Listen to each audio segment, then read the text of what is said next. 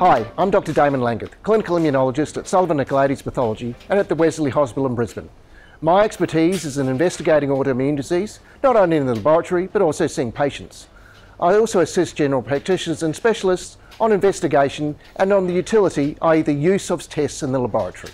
If your GP or specialist is concerned that you may have inflammatory bowel disease, i.e. Crohn's or ulcerative colitis, they'll likely order a fecal calprotectin.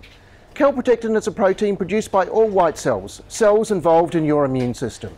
When they see inflammation, whether that be related to inflammatory bowel disease or infection or many other causes, they release this protein into their surrounds. When we're talking about the bowel, this means that protein is involved in your poo. If you take a sample of your poo to the laboratory, we can then detect it and tell you whether the amount is elevated. Um, if it's elevated, this then means that inflammation in your bowel is present and that further investigations by your general practitioner may be necessary to find out the cause. The finding of an elevated fecal calprotectin in your poo doesn't tell us where the inflammation is, and it doesn't tell us what the cause of the inflammation is. So it's critical that you go back to your general practitioner or specialist and discuss further investigations that will be needed to find what and where that inflammation is. The result of the fecal calprotectin can give a large range of numbers. If it's very high, it may be very suggestive that you have inflammatory bowel disease, i.e. Crohn's or ulcerative colitis. However, if it's a low positive, there are many possible causes. In some younger children, particularly under two, quite high positive results may occur in children with absolutely nothing wrong with them. The meaning of the result of the fecal calprotectin depends on who you are and what symptoms you might have.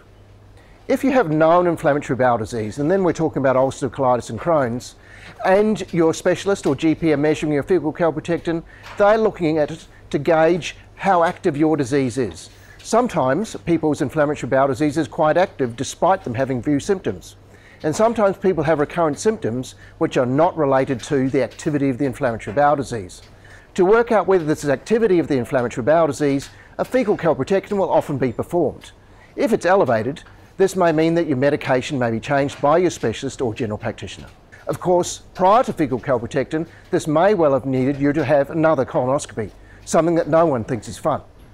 Fecal calprotectin has been available for more than five years, but over the last couple of years has increased in frequency. This means that in patients with inflammatory bowel disease, the test can better evaluate the activity of that disease and lead to better quality of life for those patients.